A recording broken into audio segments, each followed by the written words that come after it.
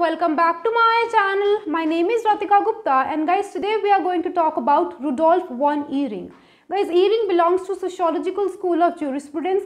That's why his legal philosophy laid emphasis on social function of law, which means functional role of law and its effect on society.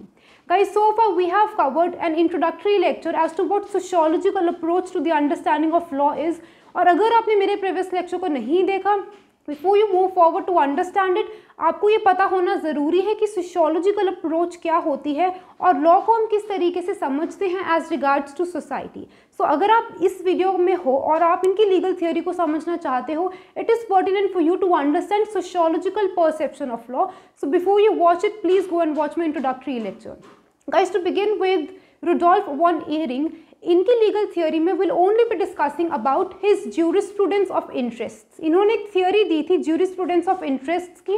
सिर्फ़ उसी को समझेंगे with the help of these three important tenets but guys before we move forward to understand his theory of jurisprudence of interest let us just understand कि interest का मतलब होता क्या है?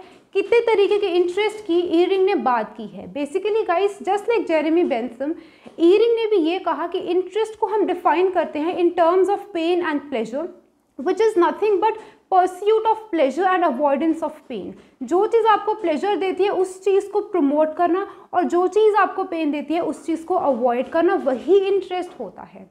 अब इन्होंने कहा कि इंटरेस्ट दो तरीके का होता है, एक इंडिविजुअल इंटरेस्ट होता है और एक सोशल इंटरेस्ट होता है। इनके अकॉर्डिंग जो इंडिविजुअल इंटरेस्ट होगा गाइज़ वो एक इंडिविजुअल का सेल्फ इंटरेस्ट होता है सेल्फ सेंटर्ड इंटरेस्ट होता है। इसीलिए उसको हमें हमेशा अवॉइड करना चाहिए क्योंकि वो सोसाइटी के बाकी लोगों को पेन देगा।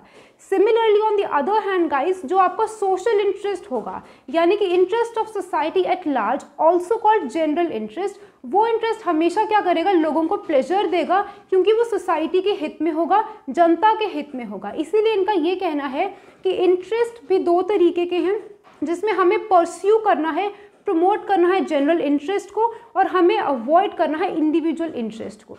उन्होंने कहा कि इंटरेस्ट कॉन्स्टिट्यूट्स अ क्लेम और अ वांट और अ डिमांड इंटरेस्ट क्या होता है? वो या तो क्लेम की फॉर्म में होगा या किसी एक इंसान की या ग्रुप ऑफ़ ह्यूमन बींग्स की वॉन्ट्स होंगी या उनकी डिमांड्स होंगी। But it may belong to an individual और अ सोसाइटी एट लार्ज जो क्लेम जो वॉन्ट या जो डिमांड एक इंडिविजुअल ह्यूमन बींग की होगी, वो उसकी इंडिविजुअल विल होगी। जो सोसाइटी एट लार्ज की होगी, वो जनरल विल होगी।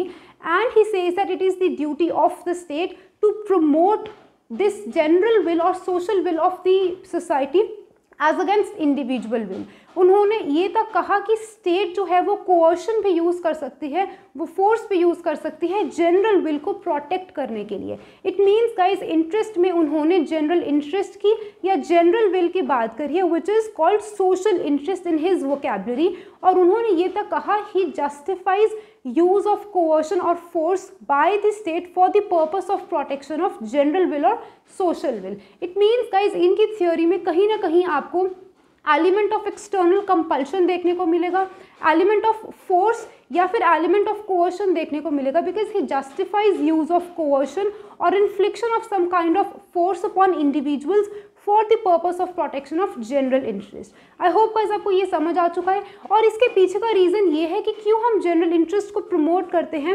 एज अगेंस्ट इंडिविजुअल इंटरेस्ट क्योंकि guys general interest leads to greater happiness of greatest number और यही हमारा अल्टीमेट एम है कि जो हमारा लॉ है, वो जस्टिस प्रोवाइड करेगा और वो ग्रेटेस्ट हैप्पीनेस देगा ग्रेटेस्ट नंबर को। क्योंकि अल्टीमेटली सोशोलॉजिकल ज्यूरिस्ट क्या करते हैं? वो लॉ को सोसाइटी से रिलेट करते हैं। तो उनका ये मानना है कि जो लॉ एक सोसाइटी पे एप्लीकेबल होगा, वो सोसाइटी के लोगों को खुश करने के लिए ही होना चाहिए और लॉ का यही एक अल्टीमेट मोटिव है। I hope guys this thing is quite clear to you ना moving on with the three important tenets by Rudolf von Ihering जो बहुत ईजी है, उनकी ज्यूरी स्टूडेंट्स ऑफ़ इंटरेस्ट को ही एक्सप्लेन करते हैं। He says that law is the result of constant struggle guys यहाँ पे सबसे पहली बात you should keep in mind is that law here refers to existing law और प्रेजेंट लॉ क्योंकि मैंने इंट्रोडक्टरी लेक्चर में ही क्लियर कर दिया था कि law here refers to law in action जो आज के टाइम पे है। They are not concern about what the law was और what it ought to be उनका सिर्फ़ और सिर्फ़ एम यही है कि एग्जिस्टिंग लॉ को किस तरीके से सोसाइटी की रिक्वायरमेंट के अकॉर्डिंगली फिट कर दिया जाए। So, he is of an opinion that the origin or source of law is to be found in social struggles or conflicts and it is only to harmonize or reconcile between these conflicting interests of individual and society that law has come into existence. उन्होंने कहा law का ultimate aim or purpose is to strike a balance between these two interests and obviously to promote general interest because it leads to greatest happiness of greatest number. I hope guys आपको ये point clear हो चुका है इसी से related हमारा third important point है जो बोलता है कि law is to secure a social purpose इसको अगर मैं इजी वर्डिंग में बोलूँ तो इसका मतलब है law is to promote social interest which I've already explain कि लॉ का एक ही पर्पस है कि उसको क्या करना है? सोशल इंटरेस्ट को प्रमोट करना है। सोशल पर्पस क्या है? Social interest social interest means interest of society at large which is nothing but greatest happiness of greatest number so इनकी perception as to what law is वो यही है कि लॉ को सोसाइटी से रिलेट किया है और किस तरीके से रिलेट किया है? Where he talked about his jurisprudence of interest उन्होंने सिर्फ़ और सिर्फ़ इंटरेस्ट की बात करी है individual interest as against general interest और सोशल इंटरेस्ट इसी चीज़ की बात करिए talking about the last important point guys he laid emphasis on the theory of living law also living law का मतलब आप समझ रहे हो, वो लॉ जो सोसाइटी के बदलते टाइम से खुद भी बदलता रहता है, वो लॉ जो स्टैटिक नहीं है। क्योंकि गाइज़ इन लोगों ने हमेशा लॉ को सोसाइटी से रिलेट किया है। इट इज़ पर्टिनेंट यही समझना कि जैसे सोसाइटी प्रोग्रेस करेगी law with the changing times and with the changing needs of people will definitely change society progressive होगी तो लॉ भी प्रोग्रेसिव होगा। उसी चीज़ को इन्होंने कहा theory of living law it means का इस कहने का मतलब है कि law has to cater to the needs of changing times and it has to keep pace with the changing needs of people लोगों की ज़रूरतें बदलती जाएँगी लॉ को बदलते रहना है ताकि लॉ अपना रियली यूजफुल पर्पस सर्व कर सके। अदरवाइज़ लॉ बिल्कुल आउटडेटेड हो जाएगा। लॉ जो है वो जस्टिस सिक्योर नहीं कर पाएगा लोगों को खुश नहीं रख पाएगा। सो so, कहने का मतलब ये है गाइस कि law must retain its glory and its youths law को डायनामिक होना पड़ेगा स्टैटिक लॉ नहीं चलेगा क्योंकि यहाँ पे लॉ को उन्होंने सोसाइटी से रिलेट किया है।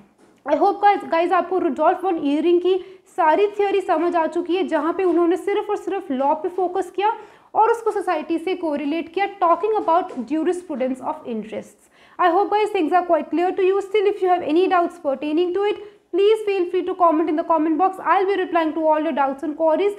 Till then, guys, keep learning, keep shining. Stay safe and bye bye